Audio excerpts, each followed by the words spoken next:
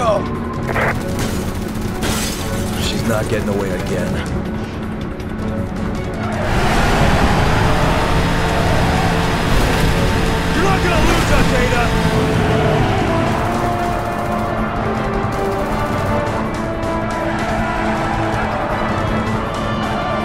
Shit!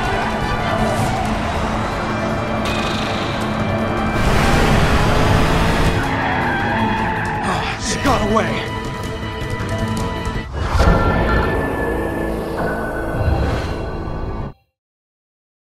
we go! She's not getting away again.